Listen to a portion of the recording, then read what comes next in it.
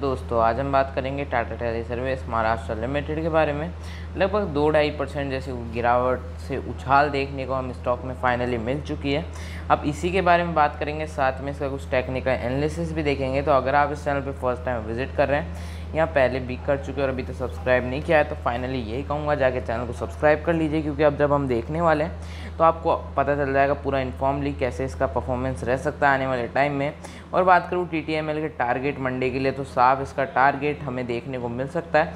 Thirty eight रुपये अगले हफ़्ते, पूरे हफ़्ते की बात कर रहा हूँ मैं, एक दिन की बात नहीं कर रहा, और मंडे के दिन टारगेट माने तो थर्टी सेवन मान सकते हैं आप। और अगर अक्टूबर के एंड एंड होते होते माने तो इसका टारगेट फोर्टी टू रुपीज़ ले सकते हैं। लॉन्ग टर्म टारगेट है, मैं मानता हूँ, लेकिन अच्छा टारगेट है।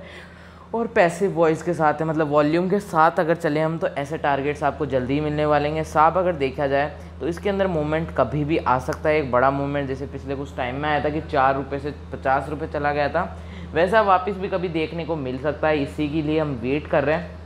और अगर आप मुझे बताइए आपने अभी तक इसके शेयर्स लिए हैं, नहीं लिए, वो कमेंट कीजिए, क्योंकि उस पर मैं आपको अपनी राय बता दूँगा, आप पोजीशन बता दीजिए मुझे कहाँ पर आपने लिए हैं, कहाँ पर नहीं लिए और अब क्या सॉल्यूशन बचता है, वो मैं वीडियोस में कवर कर दूँगा। तो अगर आप देख सकते हैं इसका मूवमेंट पिछले कुछ पाँच दिनों से ये देख सकते हैं आप, एक point sixty eight percent normal रहा है, महीने भर की बात कर ले उसमें अंदर सात परसेंट छः महीने में वन फिफ्टी टू परसेंट, एक साल में हज़ार परसेंट, पाँच साल में पाँच सौ और मैक्स में आठ सौ के समथिंग आप देख सकते हैं मैक्स में समथिंग चार सौ के समथिंग इसके रिटर्न्स रहे हैं तो थोड़े नॉर्मल रिटर्न है, लेकिन अच्छे रिटर्न हैं।